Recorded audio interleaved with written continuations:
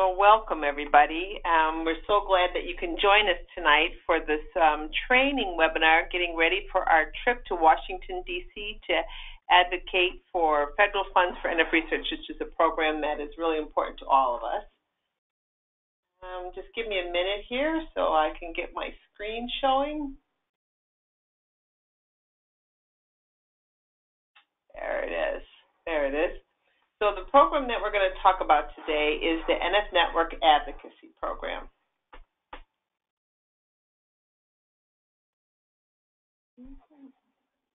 There we go. So and the, the NF Network, um, for some of you, I know that there's several of you who are um, new to us that are on the webinar tonight. So I want to just give you a little bit of history of who the NF Network is. Um, we were founded back in 1988 um, as Neurofibromatosis Inc. We were originally a part of the um, Neurofibromatosis um, Foundation group.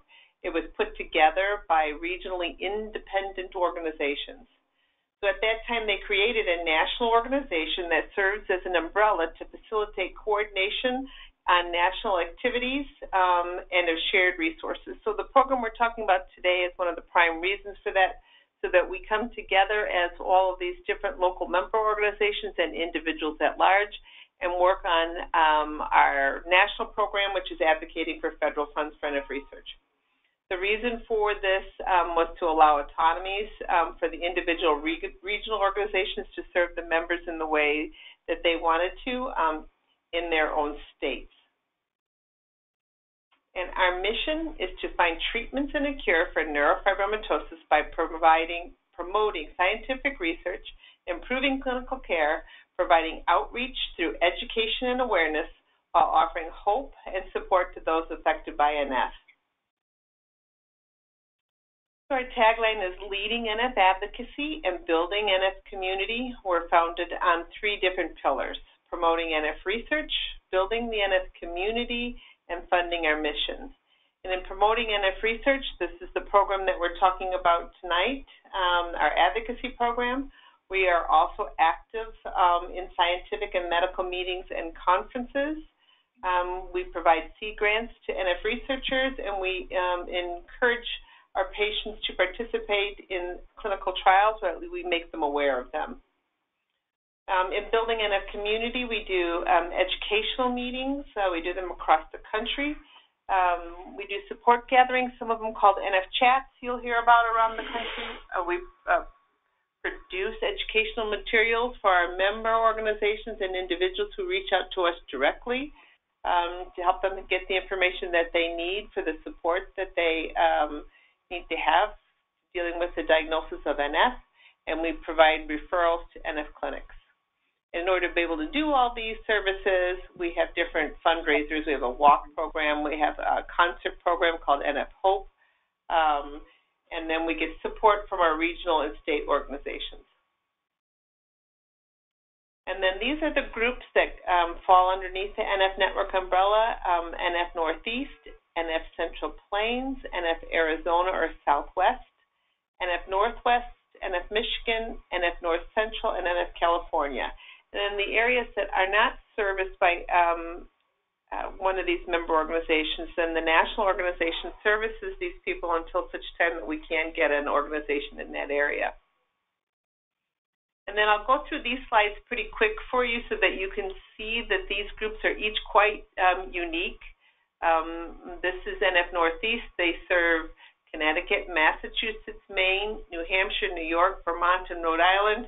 And um, Andre, I see that you're on there. Are you? There's your dad.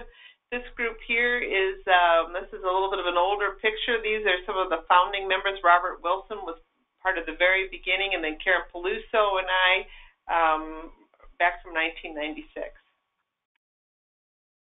And that's um, Central Plains serving Kansas, Nebraska, Colorado, and Oklahoma. They're doing um, one of our the walk programs, and they're having uh, an educational meeting there with Dr. Gutmann. And as California, they have educational meetings. Um, they have a walk program, and they have a really great um, Huntington Beach uh, picnic barbecue every year. Uh, NF Arizona, serving Arizona, New Mexico, Utah, and Wyoming. Um, and they ran a camp for a number of years down there. In NF Michigan, you can see educational meetings, walk programs going on there as well. In NF Northeast, serving Washington, Oregon, and Idaho. So a little bit about our grassroots efforts here to promote some federal funds for NF research. We started in 1996 and have successfully advocated for over $300 million through the Army's NF Research Program. You'll hear that being called tonight the Army's NF Research Program. Sometimes you'll hear it being said as the CDMRP um, program for NF, and sometimes you hear it as NFRP. Um, but we're talking about the same program here, the Army's NF Research Program, because it's funded through the Department of Defense. So that's our first request every year is for funding for that program. And our second request is always going to be for support language for NF research through the National Institutes of Health. And then on this slide, you'll see a picture over here of John Mann um, with his beautiful um, daughters there. Um, and he is our mentor coordinator. So for those of you who are new and haven't been with us to the Hill, John will be reaching out to all of you and um, talking to you about partnering you up with a mentor for your um, first visits. And those of you, a couple of you are on um, tonight too eh, for a refresher course. If that's something that you would like to have, if you would like to have a mentor assigned for just one or two meetings or for the whole time, please don't hesitate to give us an email. We'd be glad to get you set up. Um, and this was our group from last year. We had over 70 individuals um, on the Hill with us. We had scheduled 240 congressional meetings in two days. We were uh, represented 38 different states. Um, this is a really passionate, dedicated group of hardworking people. They had 240 meetings that were scheduled, but they also did drop-in meetings. And I, Katie, I know you can correct me if I'm wrong, but that was probably over 100 um, easily drop-in meetings um, that these individuals did. That means that they had um, information they didn't have a meeting, but they went and visited um, other congressional offices from their state and educated them um, about our request. And I really love this picture because if you look in the middle, that's Melanie Leach from Florida, and that's her son Zach, who has NF. And we didn't plan that, but Zach just decided to give his mom a kiss. Um, and that's really heartwarming because that's exactly why she's there. She's for she's there for her son Zach. All right, now I'd like to switch it over to you, Katie. Um, Katie is our representative with Van Scoyoc Associates. She's been working with us. We were just talking about it before for a really long time.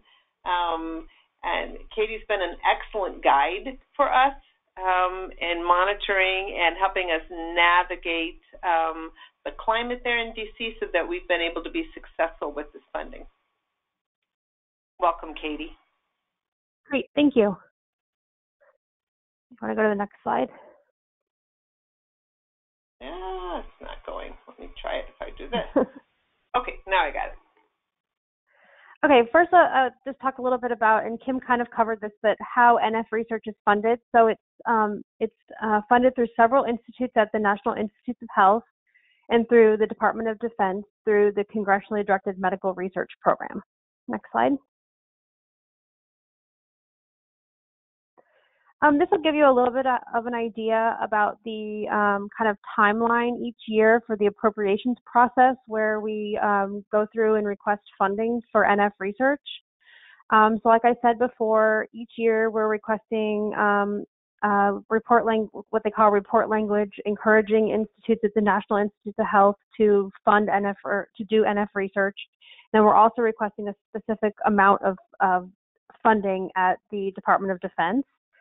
So we go to the Hill in February. Um, that, uh, January, February is the time frame where everybody um, offices are accepting requests, and it's important to talk to offices and get the necessary paperwork, which I can discuss later, um, into those offices, educate them about the program, um, what you know what the Army's program is, and um, and we we do a, a letter each year, which we'll get into a little bit later.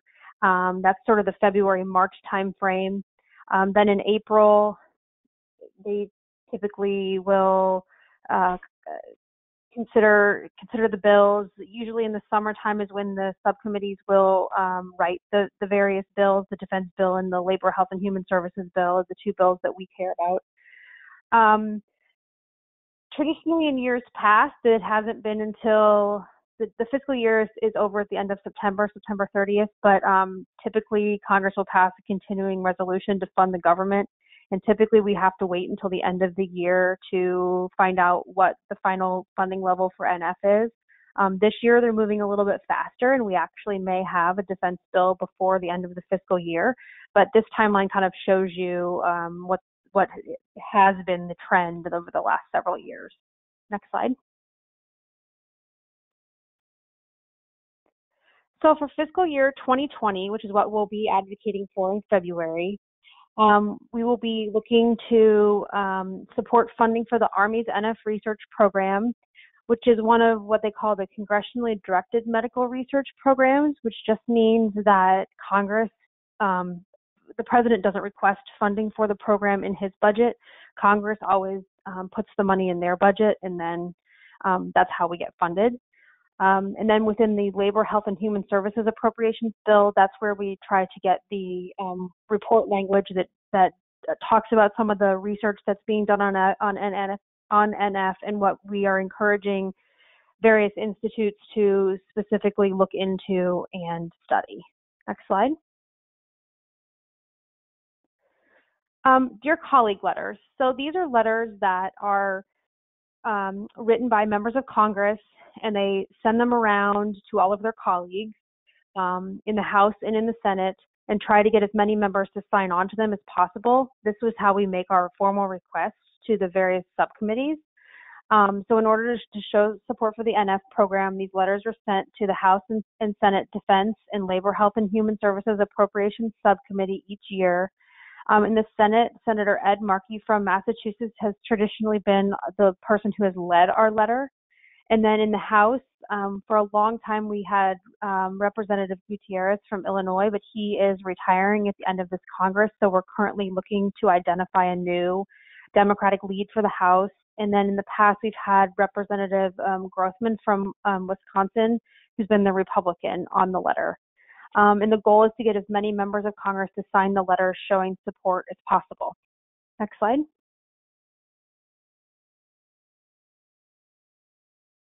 And here you can see from the fiscal year 2019 uh, bill, which is what Congress is considering now, um, you can see that in the House we had 131 members sign the letter, which is actually, I believe, the most the most members we've had in the House sign the letter. Um, and you can uh, look through this list and also on the next slide, and you can see if your member of Congress signed and um, use this sort of as a reference for who we can go after in, in 2020. But of course, there is not a limit. We want to try to get as many members as possible. So this is just sort of so you can have a guide to see who has signed in the past. Um, and I think the next slide is the Senate members. You can see we had 19 signatures on the Senate letter in fiscal year 2019, um, which was also the most uh, signatures that we had had on the Senate letter. Next slide. So now I want to get into a little bit about um, how you structure your meeting uh, on the on Capitol Hill. So this is a little bit of an outline, and we'll kind of break it down, and I'll uh, tell you a little bit more about each step. But you'll go with an introduction, explaining NF, the impact, um, explain NF research, the re- explain the NF research program, and how the NF research program and NIH complement each other. Um, next slide. So first with the introduction, you need to, first of all, thank them for taking the time to meet with you. Make sure you tell them your name and where you're from and that you're representing the NF Network Patient Advocacy Organization. Um, explain what NF is. Um, you know, just simple things like that it's highly variable, a neurological genetic condition, causing tumor growth, and um, you know, just some general things about NF. Um, make sure you point out that it can cause symptoms ranging from severe pain, etc. Um, and then currently there are no ways to predict where and when tumors will grow. Uh, next slide. Um, next, it's important to make sure that you tell your personal story. It's always better if you can make it personal for them. Um, they're going to respond better if you can explain to them that you know you're a constituent and that you this is how you know this is how you're dealing with this and this is why it's important for for them to fund NF research. And also because we're um, we get funding through the Department of Defense, it's really uh, important to explain what the military benefit is of this research. Um, and we will provide um, information for you all that, that does does do this so that you are able to make this um, clear to the to the staff. You don't have to just come up with it. Um, and then also make sure you explain how NF impacts either the member state or their specific district. Um, if there are research institutions in in the state, make sure you talk about funding um, research that is going on at those institutions. Um, talk about families in in their district or state that are affected. Um, it, it's very important to make it make it local, make make them understand how the, the, the money is, is impacting their specific state. Next slide. We're having a little trouble, Katie. Um, Sador, I don't think um, Mr. Sador is able to hear. Okay. Alexandra, um, let's see.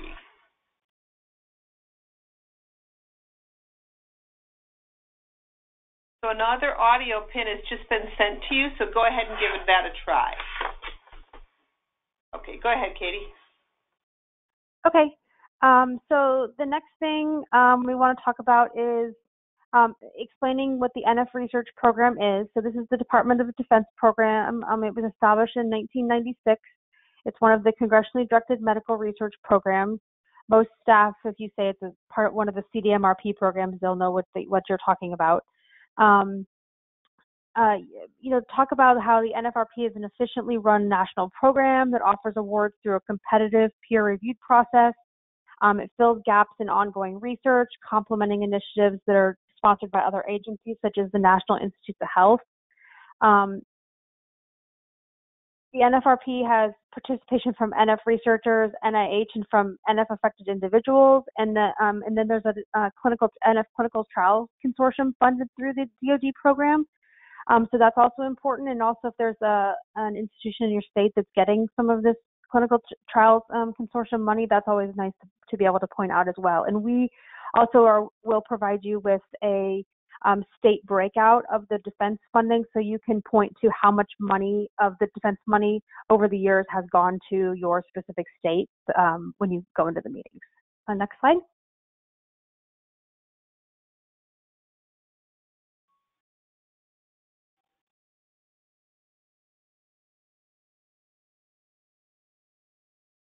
Hello? Katie? Yeah. Okay.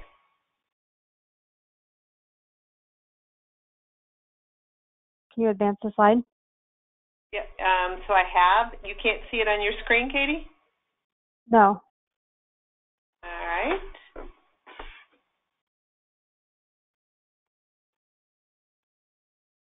Oh. You got it now, Katie? Okay. Um, yes, I do. Okay, so um, next is it's a good thing to talk about maybe a success story. Um, for example, you can use the MEK inhibitor clinical trial success with plexiform tumors um, that is funded through the NF Clinical Trials Consortium. And again, we will provide you with information so you're able to speak to that. Um, or if there's something else, uh, an example that you have that maybe um, your family has participated in a trial or something that um, was successful, that's also good to share. Um, and another thing is that NF research at the National Institutes of Health complements research at the NFRP. Um, we want to make sure that people understand that even though there's research done at both, it's not duplicative, that they are, um, that research is complementary. Um, the NF research at NIH has um, increased proportionately to the funding for the NFRP, and um, and then NFRP funds cutting edge higher risk research projects um, that a lot of times researchers will then be go be able to go on and, and um, get funding from NIH. Um, and then also the NIH does a trans NIH NF meeting each year. Um, actually, I'm not sure if it's it's yearly, but they they do them to collaborate on research um, at the different institutes. Um, next slide. So in summary, for fiscal year 2020, we'll be seeking $15 million, which is what we've been supported, uh, funded at for the last several years through the Defense Appropriations Bill for the Army's NF Research Program. For the Labor Health and Human, Human Services Bill, we'll be requesting report language on NF research at the National Institutes of Health to be included in the Labor um, Health and Human Services Bill. We'll be circulating a Dear Colleague letter um, in both the House and the Senate, so you'll be able to ask the staffer eh, um, if they will be willing to sign on, their member will be willing to sign on to the letter, but um, a lot of times the letter isn't circulating yet when we have our meetings, so you'll be able to tell the staffer that you'll be in touch with them once the letter starts circulating, and it's a, it's a good uh, reason to be able to follow up with the staffer. And then you can ask the office for their support by submitting these requests to the to the Defense Appropriations Subcommittee and the Labor, Health, and Human uh, Services Appropriations Subcommittee. Uh, next slide. Some important point, uh, points I wanted to make was to make sure that you make it local. Uh, you're a constituent, so make sure that, that they understand that this is something that's affecting their state. Uh, make it personal. Tell your story. Um, don't be afraid to tell it. That's that's one of the important important things is to make it personal. Um, remember to ask for support. Don't assume that they're they're going to be willing to help you. You need to ask for what you want. Um, you're likely to meet with staff and not the member, so don't be surprised. And the staff are the ones who are doing all the work behind the scenes and are, who are giving all of the information to the members. So um, it's actually not a bad thing to meet with staff. Um, be flexible. Your meeting could end up in the hallway, or it could be um, very brief. It could be just 15 minutes. It could be while the member or staff is walking to a hearing. Um, they, if the member wants is able to step out of a hearing, it might be very brief, and then you'll continue with staff. So you just have to be flexible and um, just kind of just kind of go with whatever is thrown your way. Uh, next slide. Um, some do's and don'ts. Do arrive on time. Um, if you know you're going to be late, uh, you'll have the phone number for the office, so make sure you call and let them know you're on your way. Um, do begin by thanking the legislator staff for meeting with you. Uh, state that you're a constitu- constituent or your um, or your relationship with that state. Do keep your message short, relevant, and to the point. Designate a spokesperson. Make sure that you ask. Don't just go over your points. Ask your members to take action on your behalf. Do justify your request, but don't overwhelm the staff with too much information. Do leave the suggested letters and letters and fact sheets that we will provide to you, to, so you have um, for each office. We'll give you a folder for each office. Um, do thank them, and we will um, provide a template for you to use um, to send it to follow up with staff, and then do follow up. Next slide. So then I'm going to focus on the follow up now. Make sure you get a business card from the staffer during your meeting so that you can contact them directly. It's better um, if you're able to follow up with that staffer directly than just to an open mailbox with the office because you want to build a relationship with that staff uh, member because they're the ones who are going to advocate for for your program with their member of Congress. Um, right after the meeting, make sure you jot, jot, down any questions that were raised or your impressions from the office about the, um, you know, the member or the staff, just anything that'll help you remember that particular meeting. Um, then follow up your visit with a personal letter. Um, an email is always best for staff. They get so they have so much to do that just email seems to be the best way. Um, send a send a note directly to the staffer, as I said. Um, using this as an opportunity to establish an ongoing relationship um, track your correspondence. Um, your meeting schedule is going to be sent to you in Excel, so you're able to kind of sort it however you want and create columns or whatever, so that can be used to try use to add your notes. Next slide. And I'll so I think, it. Um, okay, go, go ahead. ahead, Katie. Oh, I was just going to reiterate that we will be providing you with um, folders with some of this information that Kim is going to go over um, before to, to leave behind in each office that you have a meeting with and maybe offices that you don't have meetings with in your state. And then also we'll be providing you, which Kim is going to go over at the end, but um, a presentation that you can reference during your meeting so that you don't have to just come up with everything off the top of your head. Thank you, Katie. I'll be glad to go over the tools. One of the things I just wanted to maybe uh, clarify, so when when we get to um, Washington, D.C., Katie and her staff make all these meetings for us. So you will actually get a schedule that has meetings, and those meetings are scheduled about a half an hour apart. That's how we make all these meetings. So your meeting is about 20 minutes, and you just give a few minutes, you know, to get then to the next meeting for that that next presentation. And one of the points that Katie had mentioned earlier too is to designate a spokesperson. That doesn't mean that only one person can handle the meeting, but you can kind of divide it up, you know, so different people cover different um, areas in the meeting, but one person should definitely be the lead um, on the meeting. Now, this tool that we have um, that's up for you right now is we're calling the, the NF fact sheet. Um, it can be an easy way to describe NF. NF is so variable, it's kind of complicated, but when you add the faces, you can kind of look in here and talk about these individuals and the complications that they have, and kind of give an um, give a staff or a member an idea of what NF is. Then on the left column here, it goes into all the details about what NF is. Then on the right column where it says NF Research Program, it really talks about the things that Katie just went over with you about, you know, that we have the um, the Army's NF research program, and we have the research being done at NIH, and, and Congress always likes to hear about how they collaborate with one another. So that's um, going to be on the right side. And then on the bottom here, where it says what we're seeking, um, and this is the, the document that we used last year, so this will be updated for you. This is our request, these two um, statements down here for the CDMRP um, and for the Labor um, Health and Human Services Appropriations Request for the NIH Committee language on NF.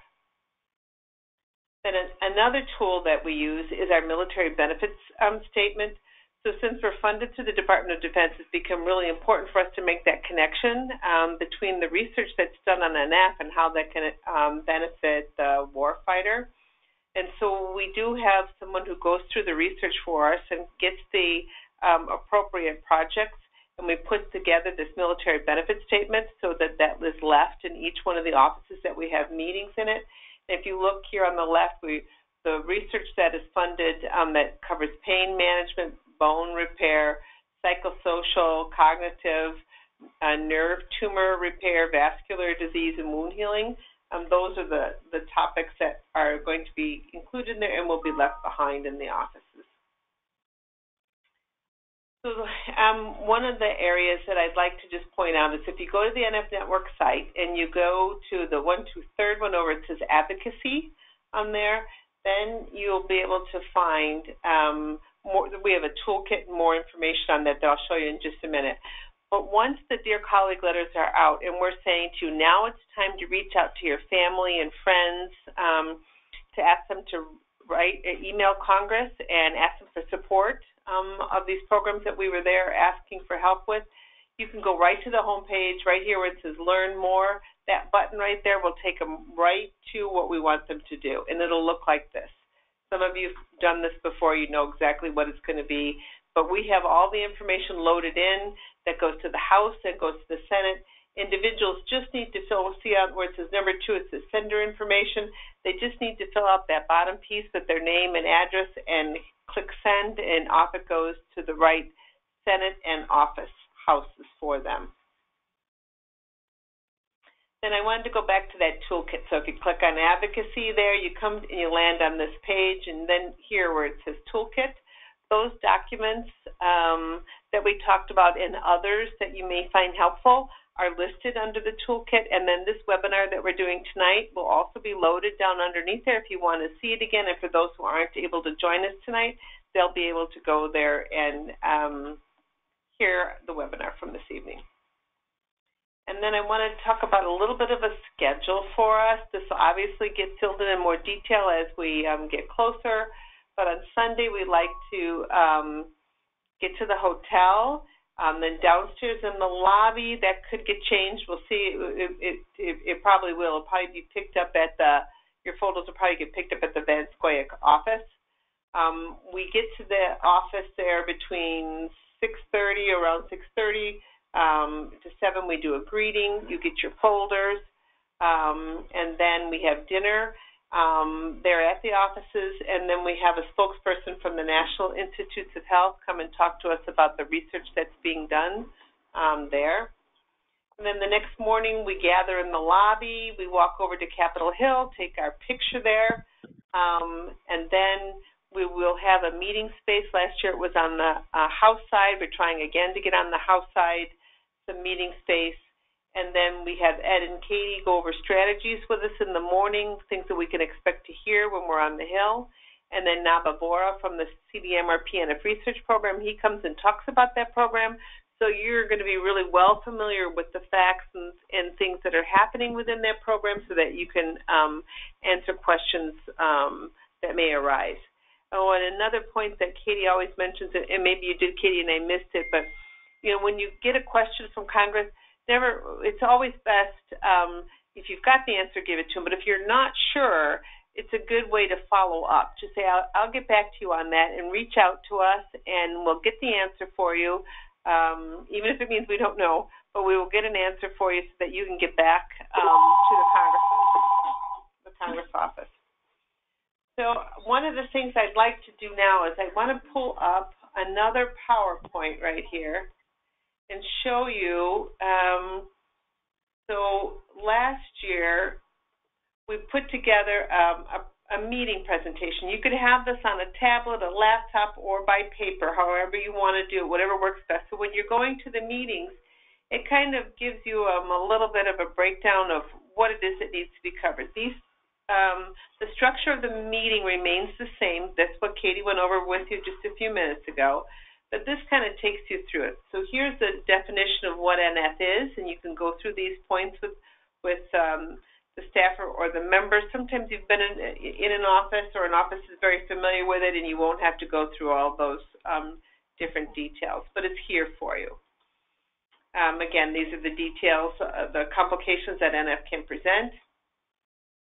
And then this slide here, personal story, this is the time of the meeting where um, it's, it's one of the most important times of the meeting where you're going to explain your story, um, your NF connection to the staffer, and then here's where we talk about the military benefit. Make sure that they get that sheet. And then this part of the meeting, you'll be able to go, um, if you were from Alabama, you'd be able to say to that office that $34.72 million has gone back to the state. Um, you it'll show you the population um, of people um, in NF um, in that particular state. Um, we've got documents that, that'll give you that information as well and then you, can talk about how NF Research is funding in your meeting. And then um, back to these, these are the same kinds of things that Katie talked to you about earlier. I don't want to go through all of the details again, but I just want you to feel confident that all of these facts are, you know, reiterated um, in this um, presentation for you, so that it kind of helps you um, remember the details during the course of the meeting. And this is a good uh, slide that can show that the CDMRP NF Research Program has actually built funding um, and increased it at the National Institutes of Health. When we first started this program, there wasn't any funding at NIH um, for NF prior to 1996, or very little, um, because NF research wasn't competitive back then. But because of the CDMRP NF research program, good data has been found, and now you can see that NIH is actually funding research at a higher level um, than the CDMRP. So it's a good slide. It's a slide that Congress really likes to see, you know, the programs are working together with one another. Um, and this slide is our success. It's the MEK inhibitor that now does have FDA um, approval, and we will have a success story um, for you on here that you can use, or feel free to edit it and put one that you feel is appropriate in there. And again, it has our requests in there. And how you can sign on we will um, have this information so you can say to the member of the staffer that you're meeting at um, with to contact Senator Markey's office and sign on if that's um, in fact what they're going to do. Another thing is if they say to you that they can't sign on to the letter um, because maybe they sit on that committee, then um, you can ask them if they would put it on their priority or wish list. Those um, notifications still go to the appropriation committee and carry the same amount of weight. Um, as signing on. Um, obviously, we like it when they can sign on because then you know we can kind of track our success, you know, and how we're doing with how many congressional members we're getting um, to be supportive, and then thank them for their time. So what I'd like to try to do now is, um, if you have a question, if you could, um, do you see, um, can you put like, a, if you have a question you'd like me to unmute your phone, if you could just hit that little hand button um, next to your name there under attendees. And I would be glad to unmute your phone and see if we couldn't. Um, okay, so there's Emily. Let's see if we can get her. So, Emily, it looks like, from what I'm seeing, it looks like you are um, on your computer and not on your phone. So in order for me to be able to um, unmute you, if you could just dial in, a new PIN number was just sent to you. So if you could dial in on the phone, then I'll be glad to um, unmute so that you can ask a question.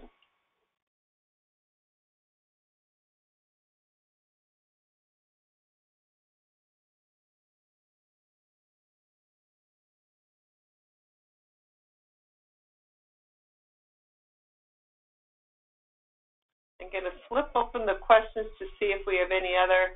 I saw that, um, Larry, it looks like you're on. Oh, Emily says she is on her phone, but I can't seem to get you unmuted for some reason, Emily. Can you just type your question down there, Emily, and I'll read it out loud um, to Katie. If you would just type it. I was hoping we'd be able to chat, but I guess that's not going to work here.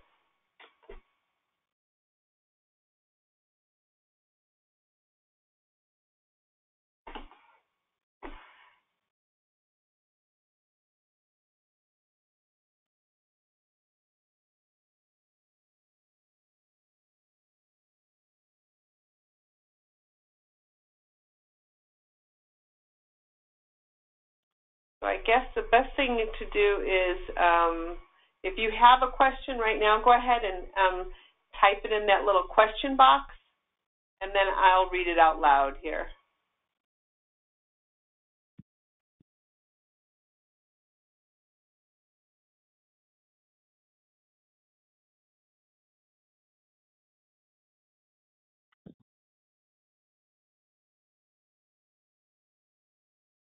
If people are having problems too, um, I'm happy to answer questions if people just want to email me as well.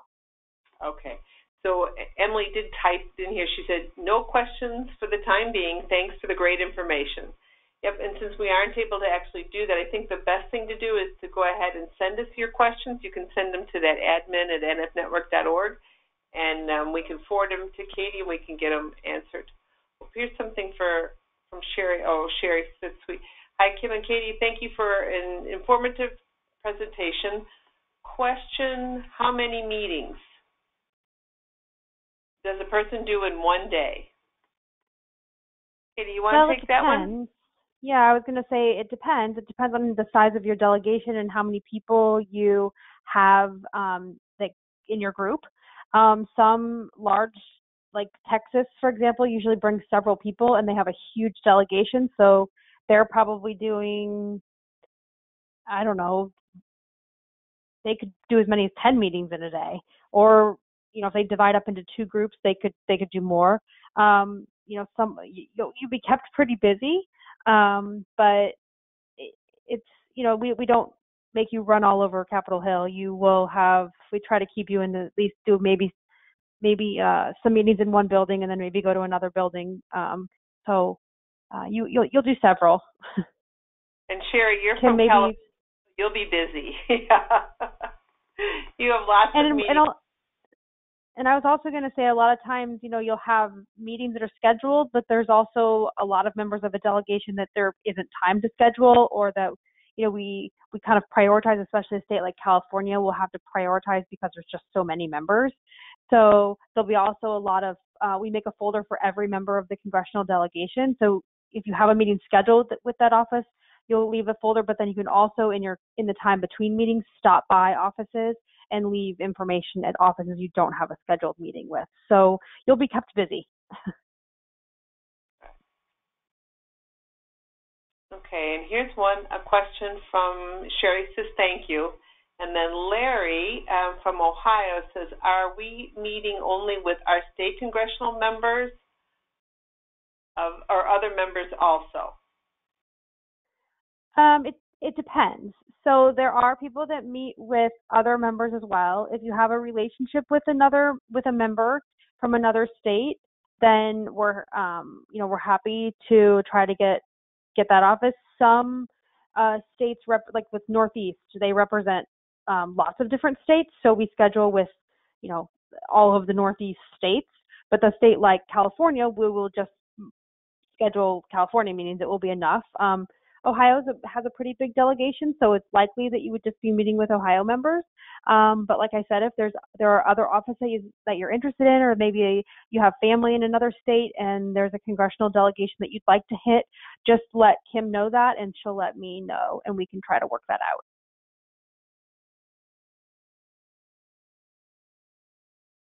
Great. Well, oops, here's um, this is from Larry. He says, I have met with all of the representatives from my state. Um, Larry actually um, was very busy last year in, in Ohio. He um, got legislation passed and he presented testimony um, to encourage um, the state of Ohio to make a law that says that May is NF Awareness Month. Um, well, yeah, um, and that's that's great. Um, we have to go back to um, all of the, the federal offices every year because we're um, every year starts a new appropriation cycle. So we will be asking for um, we have to get funding every year. It doesn't just carry over year to year. So we have to go back um, in February and ask for fiscal year 2020. Um, so it's important to go back and hit all of the members and make that ask again because it, like I said, it doesn't it doesn't carry over from year to year. Right, right. So we always have our work cut out for us. All right. Well, if anybody else has um, additional questions, please send them to us by email, um, and you'll be hearing from us, um, from the NF Network office, and from um, John Manth, our mentor coordinator. And we will get ready. Um, we'll be very busy here preparing for our trip when we go to Washington, D.C. in February. I want to thank everybody um, for attending tonight um, and for being interested in volunteering for this great work. Thank you and good night, everybody. Thank you, Katie. Good night. Good night.